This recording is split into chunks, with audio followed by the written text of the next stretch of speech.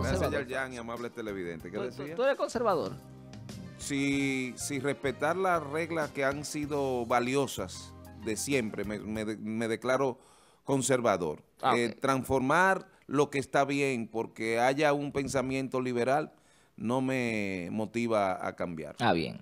Tiene que existir otras condiciones que fortalezcan el por qué cambiar lo que está bien. Bien. Mira, eh, precisamente continúo con la preocupación en la municipalidad. Y he llegado hasta pensar que si será necesario que cuando se produzcan omisiones y malas decisiones, convertirnos como ciudadanos en querellante o demandar al funcionario que haya, que haya omitido o haya dado una decisión que se contrapone a la ley. Porque lo que yo estoy viendo en San Francisco de Macorís no tiene precedente.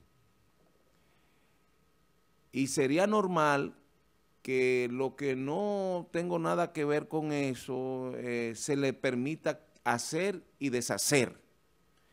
Pero cuando estamos que nos afecta, empezamos a reclamar y a pedir que hagan algo, ¿verdad que sí?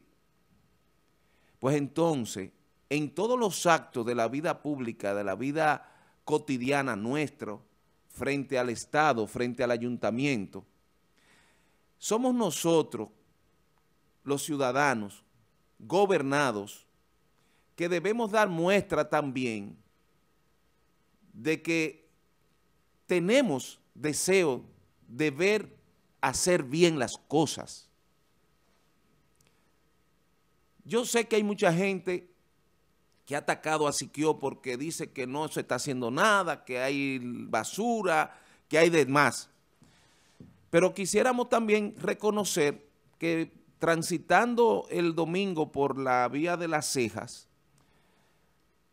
producto de la irresponsabilidad de comerciantes que se dedican a la compra de objetos robados y de todo tipo de material, pudimos ver que con un esfuerzo y dinero del pueblo se están sustituyendo los inbornales, las tapas, que es negocio para los mozalbetes, los, los, enfermos de las drogas. Esa no todavía, que esa es otra. Solamente donde está la pista, correcto.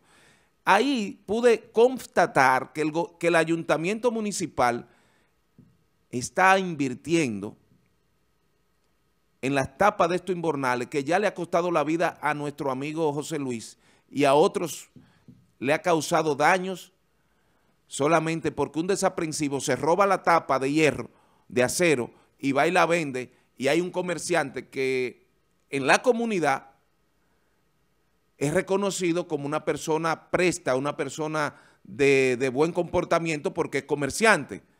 Pero lo que no se ve y lo que no se dice es la corrupción de su negocio.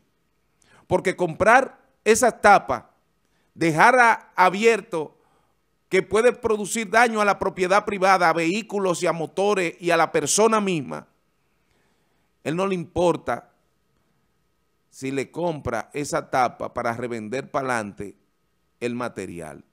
Y yo digo que es tan malo el que la roba como el que la compra y la hace negocio. Y resulta que le cargan el down al ayuntamiento que no está haciendo nada. Pues Siquio está, y eso hay que reconocerlo, que está haciendo un esfuerzo para evitar que esté a cielo abierto esos huecos que son necesarios para, para canalizar las aguas de la ciudad en esa zona tan importante que ya pronto tendremos una circunvalación que cruzará por ahí. El otro caso es que si bien es cierto el PRM está gobernando como partido de gobierno que tenía 16 años en la oposición, no menos cierto es que hay personas que aún no dedicándose directamente a la política, le cobran muy alto el, el haber apoyado, diría yo, al partido. Y por eso he recalcado más de una ocasión que aquí no hay mandato en el cual se le pueda imponer al que ejerce el cargo porque es de representación, no de imperación, no de imperativo. No es un mandato imperativo y eso ya yo lo he explicado a la saciedad. Pero de ahí que un comerciante procure que al pagar las tasas o arbitrios que corresponde para el desarrollo de su comercio en el ayuntamiento, le pidan a Siquio que le condone, que le quite la deuda, que no pongan a pagar más que una chilata al ayuntamiento, teniendo negocio. Y yo le quiero decir a Siquio que cuidado con eso.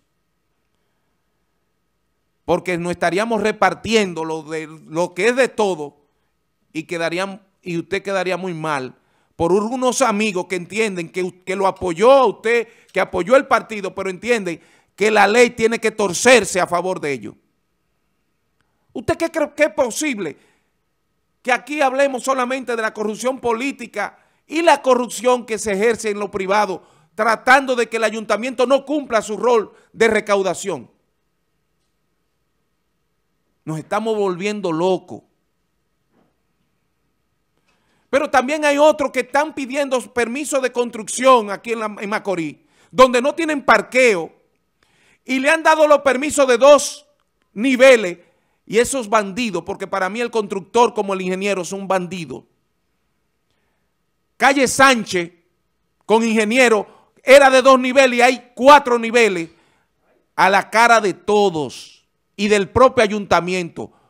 Bola negra para el ayuntamiento porque no tienen la supervisión, creen que los permisos es palabra de Dios. Entonces, de esa forma, lo que estamos creando es una ciudad que se está levantando en una construcción salvaje, un salvajismo, porque nadie quiere respetar la ley. Lo que quieren es que se, que respete la ley para ellos. Pero cuando van personas prestas a buscar el mismo permiso, Planeamiento urbano le dice, no, mire, si no tiene los parqueos necesarios, preferiblemente hágala de dos o de tres niveles. Y hay gente que la cumple, pero sin responsabilidad. Óigame lo que le estoy diciendo. Eso es corromper a la, a la función pública. Entonces, esta doble moral esta doble moral de personas, comerciantes, empresarios, y por detrás están buscando no pagar cuando todos debemos pagar. Y ponen en, y ponen en aprieto, yo me imagino, asiquió la cantidad de solicitudes de que le condonen eh, deuda y cosas a personas con, que son personas pudientes, comerciantes. Por el contrario, debieran apoyar la gestión de Siquio debieran apoyar la gestión del presidente, porque si ellos fracasan, fracasamos todos. Pero es como la pregunta, y no iba a discutir con Franklin, pero aquí todo el mundo sabe que ha mantenido abierto en horas que no debe Ruf. Y se han enfrentado. Y en la carta de renuncia también lo decía el señor. Yo no sé cómo aparece ahora que fue mentira. Porque ¿cuántas denuncias no hemos tenido, Yarian, aquí? del mismo Muchísima. Incluso tú le diste un consejo a él. Y yo le dije un consejo. Sí, la semana pasada. La semana pasada al mismo Jason. Si eres una proyección de la juventud dentro de un partido que está presentando el cambio, sé tú en tu comportamiento y en la actividad comercial que realizas la diferencia para que sea visto que en ese partido hay jóvenes siendo empresarios, siendo profesionales, que cumplen la ley, no que la incumplen por trastativas. Ese es un consejo. Así fue que lo di. Y pocos días se produce hasta una renuncia, porque es insoportable que cuando viene el COBA todos los, todos los negocios ya van cerrando y que haya uno que, amigo del general, amigo de, del senador, amigo de todos, pero es miembro y es el que está proyectándose en la juventud. Y es que nuestro comportamiento de político y de ciudadano va a hacer no brillar a los funcionarios porque tienen que verse con la disyuntiva de que le exigen que le complazcan en cosas que son contra la ley. Esto es increíble. Entonces, señores, yo creo que debe procurarse un empeño del ayuntamiento en generar hacia la población y hacia lo público municipal de que la ley hay que cumplirla. Mándame la foto última para ya al final. La donde está el talú. Eso es el río Jaya en la parte de Atillo, parte atrás de la urbanización Mirador del Jaya. Por ahí siempre se quiso por el propietario de esta tierra, que hay una urbanización que aprobó Elías la Antigua, él, porque parece que Elías, siendo director de planeamiento, era el, alcalde y, el consejo mismo, ha hecho un daño ecológico sin precedente y ha creado ahí, no un puente, porque cualquiera que oye que, que van a hacer un puente, eso es una alcantarilla como como retención del río Jaya, utilizando la parte pública y de uso común sin respetar los linderos. No es cierto que el, hecho que usted sea propietario de una propiedad que hay cruce de río, usted dueño hasta del río. Pero aquí no hay autoridad. Medio ambiente no sé dónde está.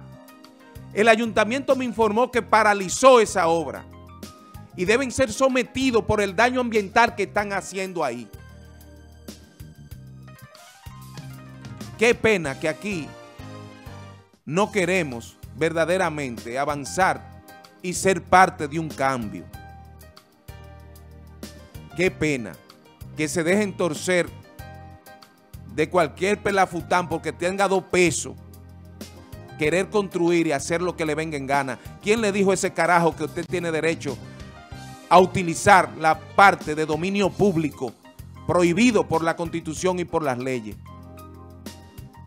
Pero está bueno que no pase por ser complaciente. Bueno. Y lo vamos a seguir denunciando. Así es. Gracias a Francis por su comentario del día de hoy. Eh, Marisol desde La Guarna dice que el ladrón es quien lo compra. Se refiere a los a las tapas, ¿verdad? Sí, estoy de acuerdo. Nos vemos mañana.